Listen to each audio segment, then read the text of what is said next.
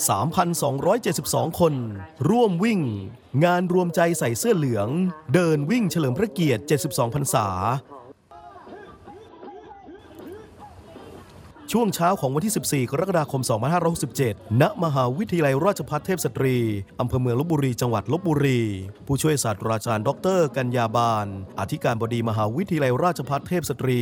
พร้อมด้วยผู้บริหาร บุคลากร นักเรียน นักศึกษา หน่วยงานภาครัฐ ภาคเอกชน ภาคประชาชน และจิตอาสาในจังหวัดลบบุรี ได้ร่วมกันจัดงาน รวมใจใส่เสื้อเหลือง เดินวิ่งเฉลิมพระเกียรติ 72 พรรษา ในโครงการงานเฉลิมพระเกียรติ พระบาทสมเด็จพระเจ้าอยู่หัว เนื่องในโอกาสพระราชพิธีมหามงคล เฉลิมพระชนมพรรษา 6 รอบ 28 กรกฎาคม 2567 โดยมีวัตถุประสงค์เพื่อเทิดพระเกียรติ พระบาทสมเด็จพระเจ้าอยู่หัว เนื่องในโอกาสพระราชพิธีมหามงคล เฉลิมพระชนมพรรษา 6 รอบ 28 กรกฎาคม 2567 และเพื่อส่งเสริมให้นักเรียนนักศึกษา บุคลากรภาครัฐ บุคลากรภาคเอกชน และประชาชนทั่วไป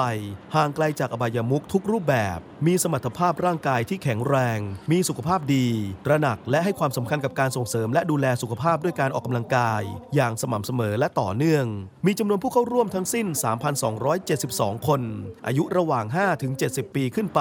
เส้นทางวิ่ง ผ่านสารพระการ วงเวียนสักแก้ว และวนกลับหลังวงเวียนพระนารายระยะทาง 7.2 กิโลเมตร โดยมีว่าที่ร้อยตรีทรงพลแป้นแก้ว รองผู้ว่าราชการจังหวัดลบบุรี เป็นประธานในพิธีเปิด และกิจกรรมเดินเทิดพระเกียรติ ในช่วงเวลา 5 นาฬิกา 39 นาที จากนั้นเวลา 5 นาฬิกา 49 นาที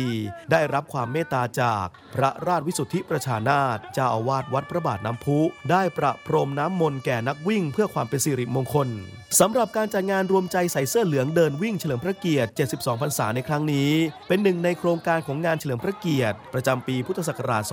2567 ซึ่งจัดพร้อมกันกับมหาวิทยาลัยราชภัฏทั่วประเทศ นับเป็นมหามงคลสมัยพิเศษยิ่ง ที่เหล่าประสบนิกรทุกภาคส่วน ต่างพร้อมใจกันจัดกิจกรรม ที่แสดงออกให้เห็นถึงความรัก ความจงรักภักดี ที่ประสบนิกรชาวไทย มีต่อพระบาทสมเด็จพระเจ้าอยู่หัว ซึ่งพระองค์ทรงปฏิบัติพระราชกรณียกิจเพื่อประโยชน์สุขของปวงชนชาวไทยหลากหลายด้าน